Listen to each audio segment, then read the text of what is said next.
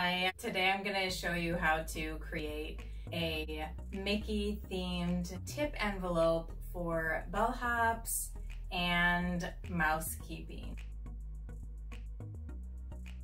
Now if you're not a Mickey fan and you're not going to Disney, you can still do this just like this. You could just do the pocket without the Mickey ears and this cute little vacuum or cut out a little roll of toilet paper or something like that um, with a cute little piece of glitter cardstock and have thank you across the top of the envelope to create for hotel settings of any kind. But today we're gonna be doing more of a Mickey themed. Here's one that I created for mousekeeping, which is your housekeeping service when you stay in a Walt Disney Resort hotel. And we're also going to, right now, I have my machine all ready to go, create a tip holder for a bellhop at a Disney resort. We got a little Disney theme going on here. And I will click into Design Space right now and I will show you how to create your own Mickey and how I created this image. Okay, so what we're going to do is we are going to click into Shapes and we're going to click Circle and this is how we're going to make our Mickey. And I'm going to actually click duplicate.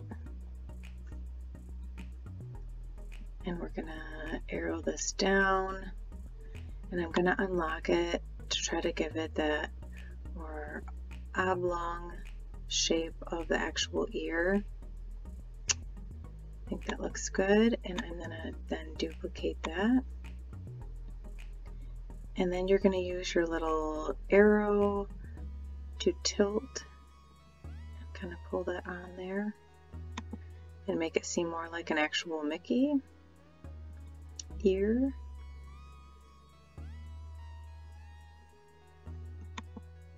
Okay, I'm just eyeballing it. I think that looks pretty good. I think the ears need to come down a little bit further apart though.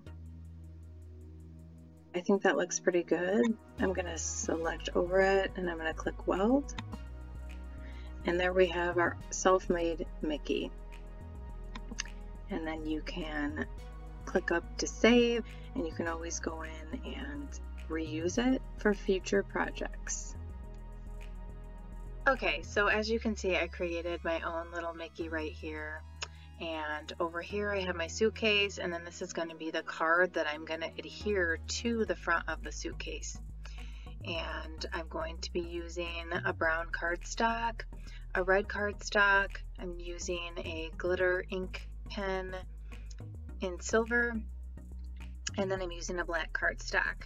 And as you can see, I just typed in a suitcase, found something that was a basic image. It actually had some extra layer on top of it. I hid that in the layers panel over to the right. And then same thing with the envelope. I had to hide some pieces of it. It actually had like a card that would slide in and out of it. And I just want the basic envelope. So that's what we're gonna do and then you're going to go ahead and once you find the font you want and pick out whatever saying you want to have written on top of the outside of your envelope, you can go ahead and let's see, I've already attached mine, but to show you, I'm going to detach it and then you'll put it over here on your envelope. I'm going to just have it off to the side there and show you how to center it. You're going to go up to Align after you select over your image and you're going to click center horizontally and see how it nicely moved it over on the card for you. And now I actually want it up a little bit higher, but I know it's centered. So that way I have enough room underneath to add my Mickey once this project has cut. Okay, so what I'm going to do next is I'm going to hook it up to my machine and I'm going to head, go ahead and click make it. I already have my card cardstock already. I'm going to use a red and black and brown sheet today.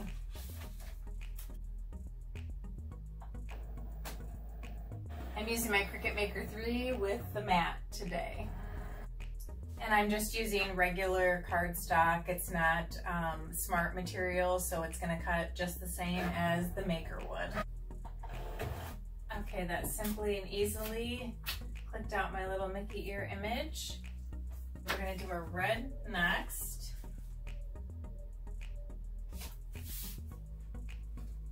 This is the actual envelope part that's gonna adhere onto the little bellhop suitcase.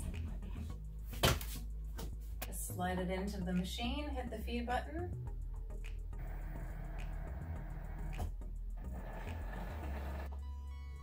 Gotta hit that play button to go get this party started.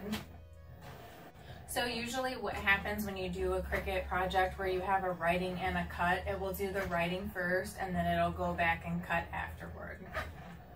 I simply chose to just write thank you on this particular one. So now it's just kind of scanning, detecting the cutting tool, and now it's gonna cut the image, which is going to be our little envelope to adhere onto the suitcase, which I'm gonna make next.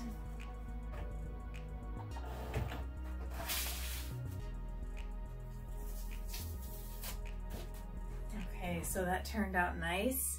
And then I'm just gonna fold the sides and the bottom to adhere onto my suitcase that I'm going to create now.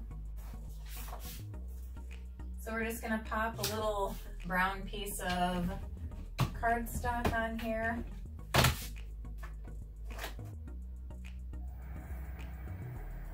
Okay, so we're gonna create the suitcase part of this cute little tip card for a bellhop at a Disney resort hotel. Okay, here's my cute little cardstock suitcase. Instead of doing an overhead view, I just zoomed in a little bit just to have you see what I'm gonna do here. Now I'm just gonna use some clear gel tacky glue and I'm going to fold the sides of the card.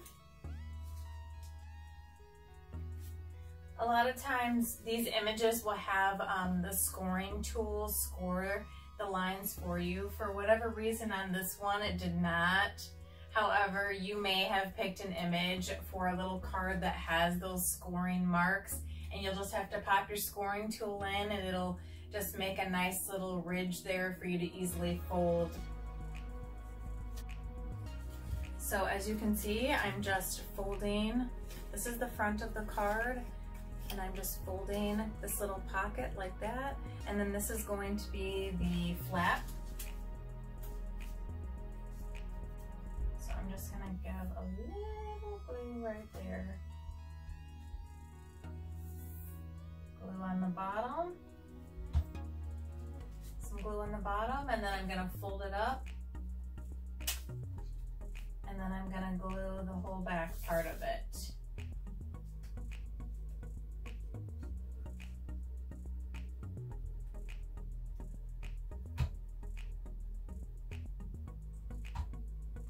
But not the lip part. And then I'm going to find the center. I'm just gonna eyeball it on here and place it on the suitcase.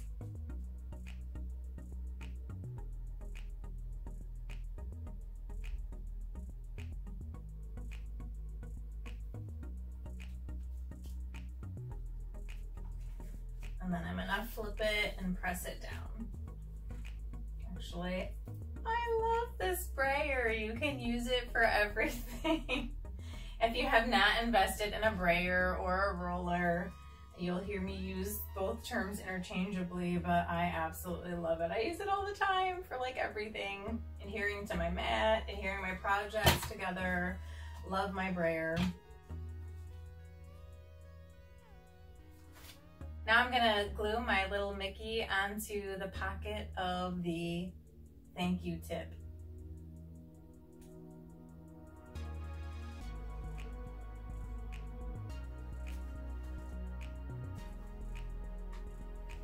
I can't easily fold this little um, lip down. So I'm just gonna cut it off.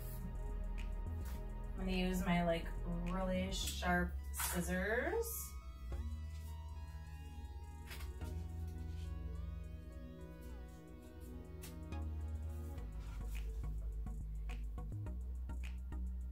Have a cute little suitcase with our little thank you envelope pouch and little Mickey accent and you can just drop some cash, slide it right in there and then whip this out and hand it to your bellhop as a nice little thank you tip. I think that's super cute. The only thing is size of the suitcase, maybe you could make it a little bit smaller and then here I have my Mickey mousekeeping thank you for the housekeeping from a Walt Disney Resort Hotel. I would suggest tipping about a dollar per person in your party. So if there's four of you, maybe tip $4 a day and I would definitely not wait until the end of your stay if you're staying for an extended period of time because every single day you're gonna have different housekeeping staff that take care of your room. So if you wait till the end of your five day stay and leave a $20 tip or a $25 tip for housekeeping, just the housekeeper that day is going to get the tip.